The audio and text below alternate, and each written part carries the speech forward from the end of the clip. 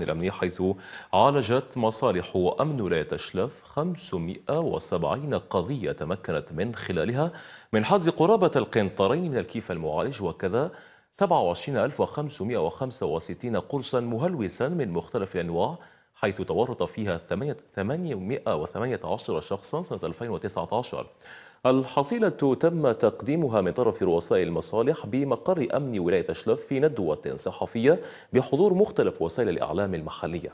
التغطية كانت لمراسلنا رشيد مشورب.